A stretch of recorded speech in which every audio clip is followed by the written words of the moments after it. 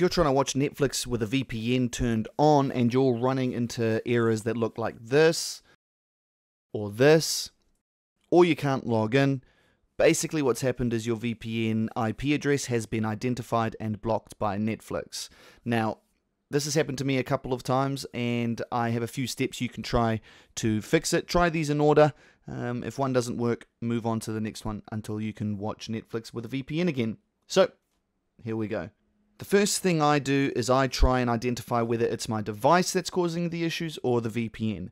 To do that, I just install the VPN on a different device, say my phone or my laptop, and if it works on one but not the other, I know it's my device that's causing issues, not the VPN. If the VPN's not working on either device, I'll then contact my VPN's live chat support feature. For this example, I'm using Windscribe. Uh, so what I'll do is I will search for Windscribe live chat or support or something like that. And down here, uh, a pop up will come up allowing me to talk to a robot and then hopefully a, a, real person. And I'll just ask them, hey, are you aware of your VPN not working with Netflix? Can you point me in the direction of a server I might be able to use? Um, now, to be honest with you, most VPNs have this live chat support. Some of them don't. If if the VPN you're using doesn't, skip this step completely and move on to the next one which is deleting your cookies. Now, cookies can sometimes cause issues with VPNs. They can interfere and things like that. To be honest with you, deleting your deleting your cookies probably won't fix Netflix not working with your VPN, but what it does is it gives your device a clean slate.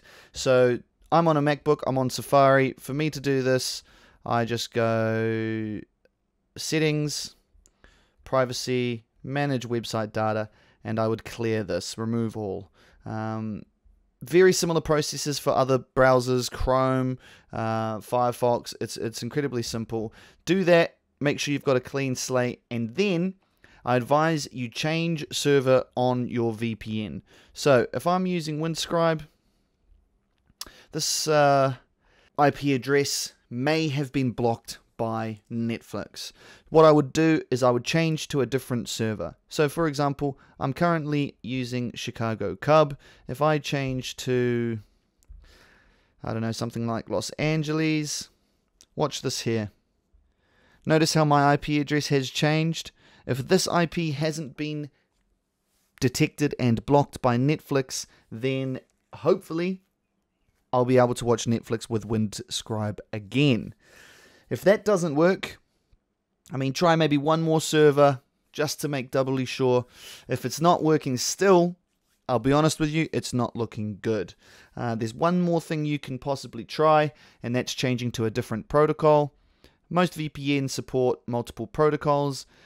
Without getting into too much technical jargon, a protocol is the way the VPN uh, reroutes your data through its own server um, servers. Sorry, uh, you can see here on Windscribe, I've got a lot of different protocols I can choose. Um, I advise going through these and seeing if one works. It might simply be a case of the protocol you're using is no longer compatible with Netflix. If that doesn't work, there's two paths you can go down. You can wait for your VPN to fix the problem on its end, but there's no telling how long this will take. It could take a day, a week, a month, a year. You don't know. Um, you can wait, or you can decide to upgrade to a VPN that works well with Netflix.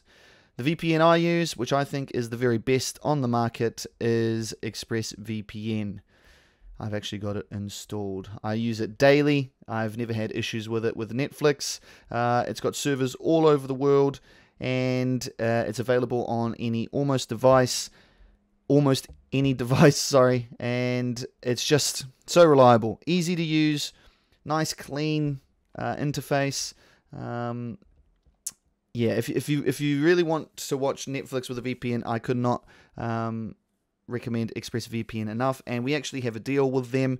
If you click on the link in the description below, you can get three months of your subscription for free. Um, if you don't like ExpressVPN or you just want something that's a bit different, another VPN that's very good is also NordVPN, who Funnily enough, we also have a deal with, if you click on the link in the description below, you can get an extra three months on your subscription, which is basically the exact same deal. Anyway, if you've gone through all those steps and you're not able to watch Netflix with your VPN, I think it's time to upgrade to one that works well. Uh, ExpressVPN is that VPN.